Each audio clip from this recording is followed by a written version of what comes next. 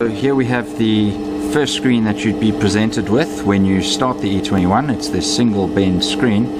Um, and I'll take you through the parameters quickly. Our x-axis um, is current position of x-axis, y is current position of y-axis, which is the beam, and x being your back gauge.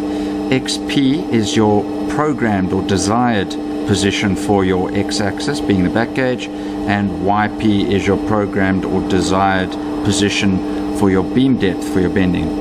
dx is uh, the back gauge retraction. If you want uh, your material, if it may impact the fingers on your back gauge, you can have it retract. Um, ht is hold time. That's the hold time or the delay of the punch at the bottom of the bending point. Uh, DLY is the delay which is applied to the retraction. So you can also have your um, retraction occur slightly later in the cycle. Um, PP is number of parts programmed. CP is number of completed parts. And as you can see here, it says out of UDP. We can take care of that by bringing the beam up quickly. And then it says it's between soft limits ready to be programmed. If we move on to our next screen, um, that's over here. This shows your library of programs. There are up to 50 programs um, in the uh, E21, each with 25 steps in them. There's nice scope there for, for quite a lot of uh, uh, bending. If we push P again, we can see the constant screen. This is typically your machine um, parameters, but these are the high level parameters, things like your measurement units, the language, uh, and also some parameters for the system like version of software, etc. If I push P once again, it takes us back to the single page um, and uh, that really is where we will currently set for position X at 200 and position Y which is the depth of our beam at 128.5 I'm going to change the setting in single mode to do a single bend.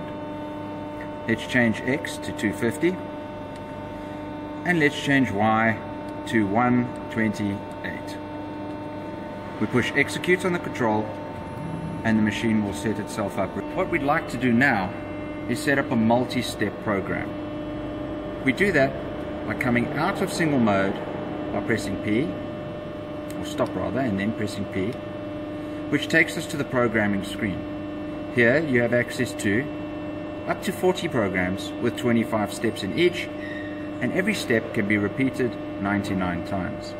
Let's have a look at program 1 which I set up earlier.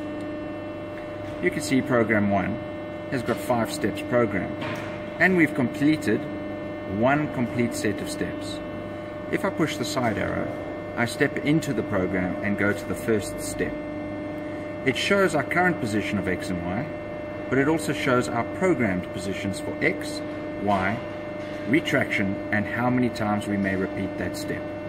If I press to the side again, I will go to step 2, step 3, step 4, step 5, and then I'll return to step 1. But I'd like to set up my own three-step program, and I'm going to do that in slot number 2. Let's shift over there now. Push enter on slot 2, and I'm able to see that there is already a program there I'd like to overwrite. Pressing 0 for the steps will overwrite all of the steps and set it to 0.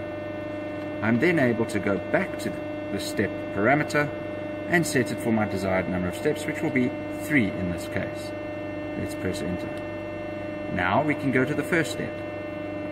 On step 1, I would like to leave the machine in its current position, so I'll just cheat and take the current X position as 250, program it in. I can then also cheat and take the Y position as 127.99 and program it in, it's 128. For the sake of it, I'll just put it in again for us then I would like to have the back gauge retract as I am doing a bend and I shall set that to 20 millimeters.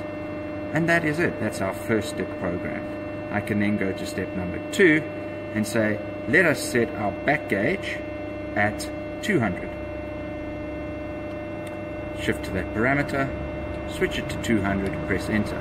I can then change my depth to 127 and I can set my retraction to zero for that particular step.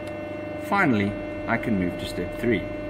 On step three, I would like my X position to be 100. I would like my Y position to return to 128 and I'd like my retraction to be 10. And there I have fulfilled all three of my steps.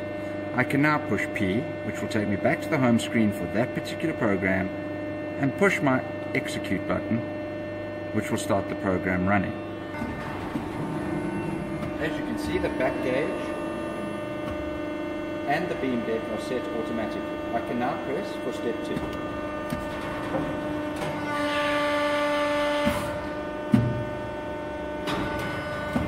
finally, once the machine has set itself correctly, I can press for step number three.